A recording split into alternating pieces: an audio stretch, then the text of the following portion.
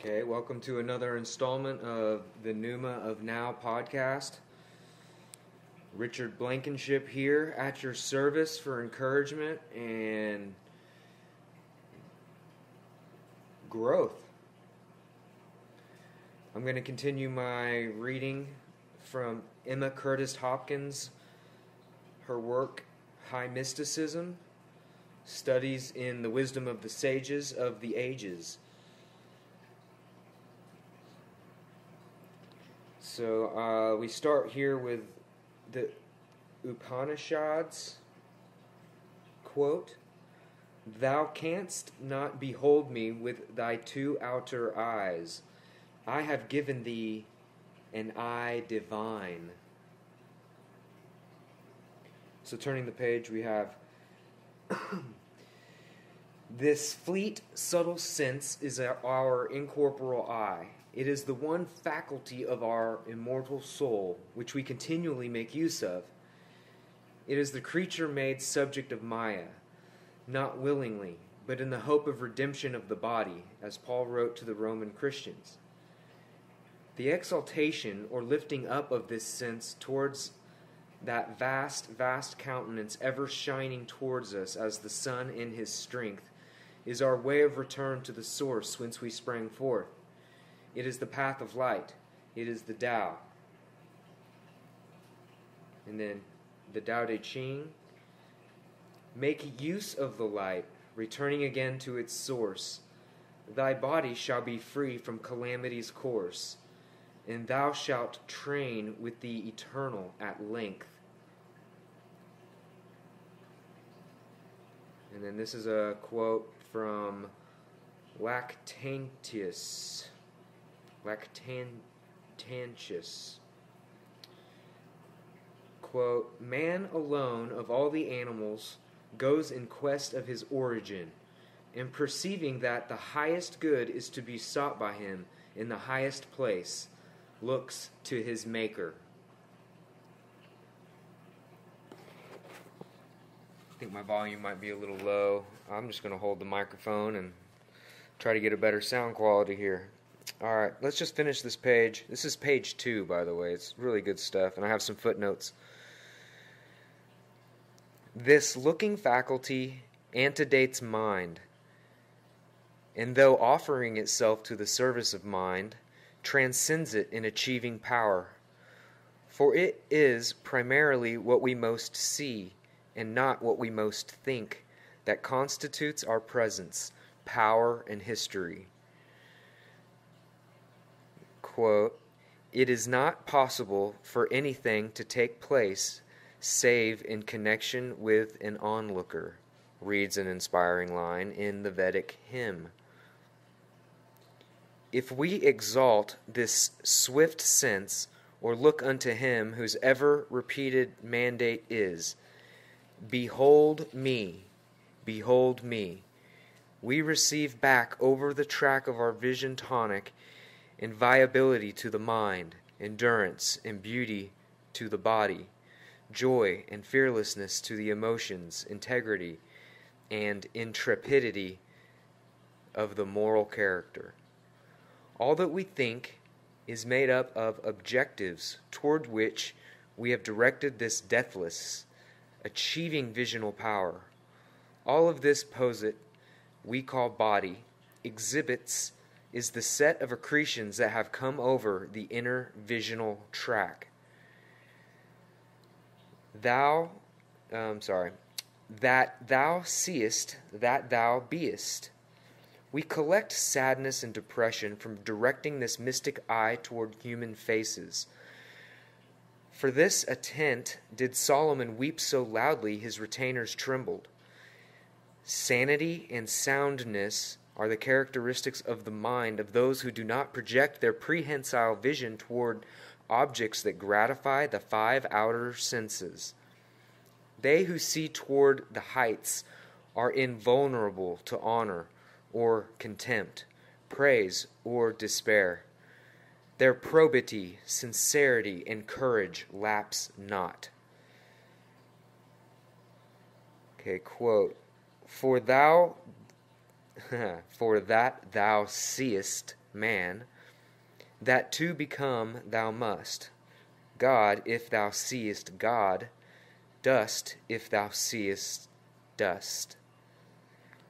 With eyes closed, still let the gaze be heavenward. There, on, their fa- on the fair, unspeakable heights, is the home whence we all came hitherward to view the ways of destruction. And from the Psalm of Moses, Thou turnest man to see destruction, but sayest, Return, ye children of men. Unquote. To look upon with the mystic eye is to start on the saving Tao. Quote, Look unto me, and ye be saved. I will turn away your captivity from before your eyes, when ye turn unto me, seeking my face, wrote the two great prophets, Isaiah and Jeremiah. With the flash of one hurried glance, I attained to the vision of that which is.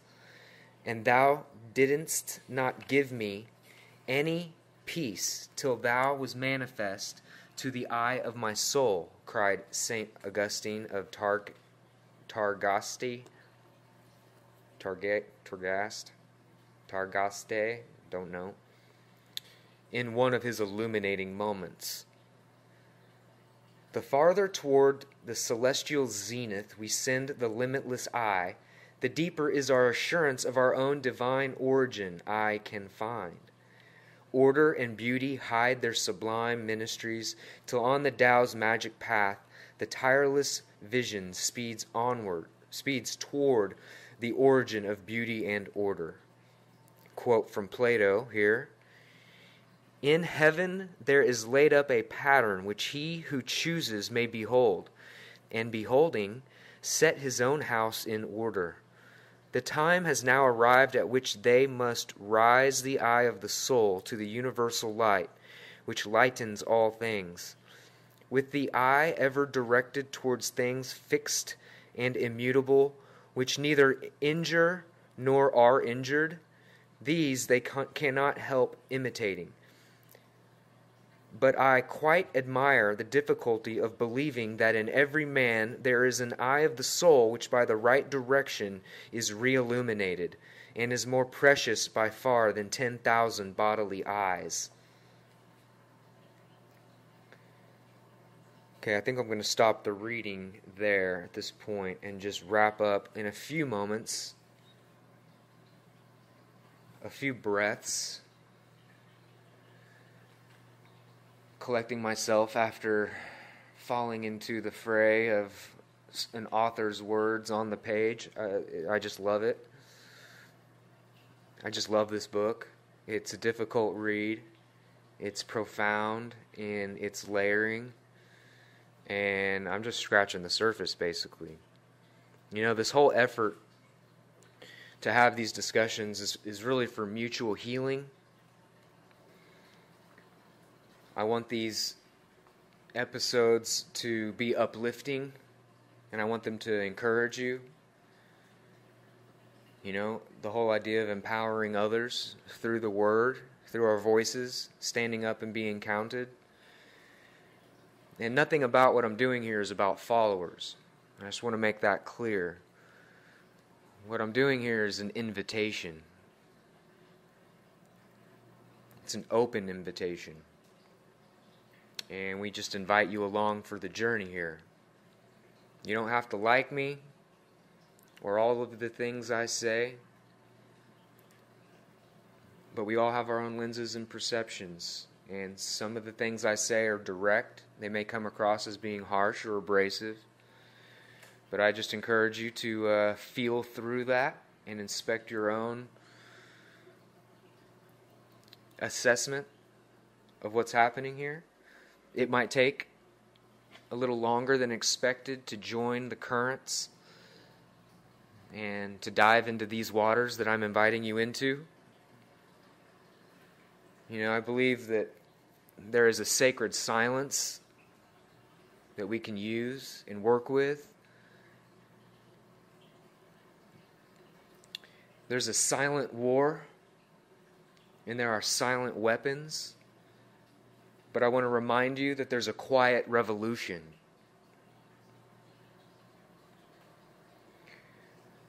That revolution starts with a personal revelation, something that happens within ourselves, long before it manifests upon the tapestry of the collective scenery. Everything I want and everything you want is on the other side of fear the opposite of courage is not cowardice, it's conformity. That quote is by Rollo May.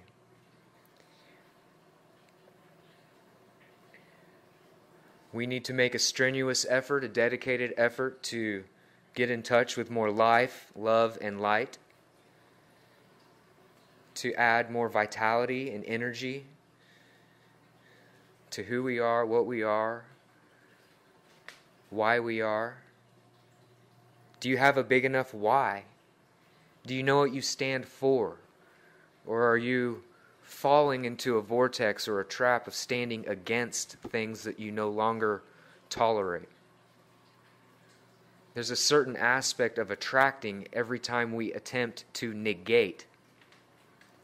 I do not support war on drugs or war on terrorism. What I support is a a peace march, a unity conference. What do you stand for? Add energy to that.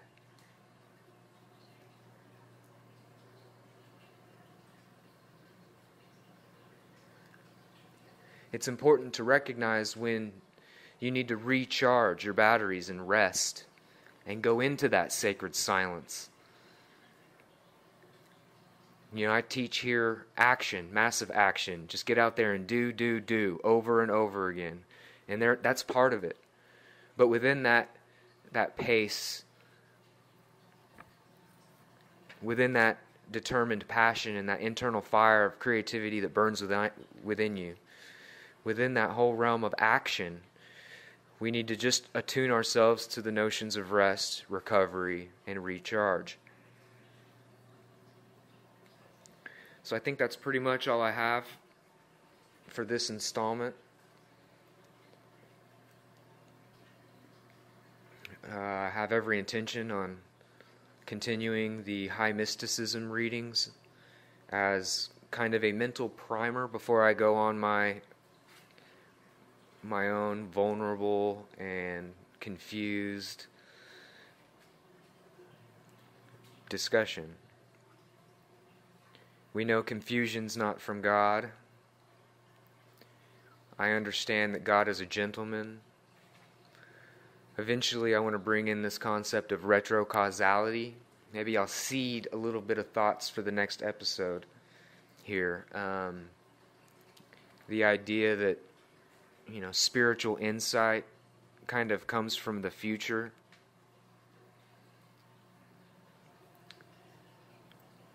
The idea of, you know, meeting God halfway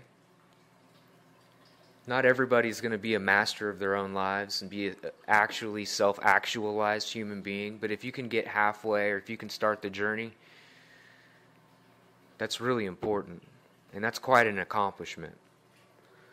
And really, a, a congratulations is in order to those of you who can sit with me in their own heart centered awareness to assist me in the the larger picture, the larger vision here of encouraging others and picking apart the concepts that we are trying to communicate.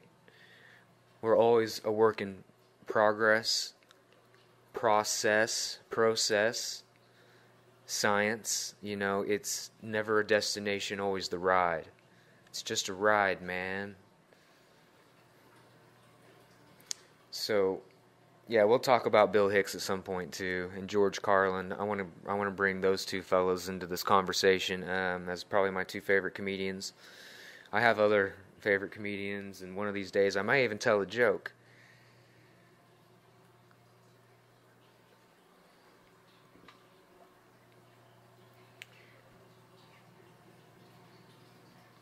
All right. Well, big love to the family and the tribe, and, you know, get into your own heart space and give yourself permission to be you, too full, on this wonderfully awe inspiring 24 hour cycle on planet Earth, I guess. Peace profound in the pneuma of now.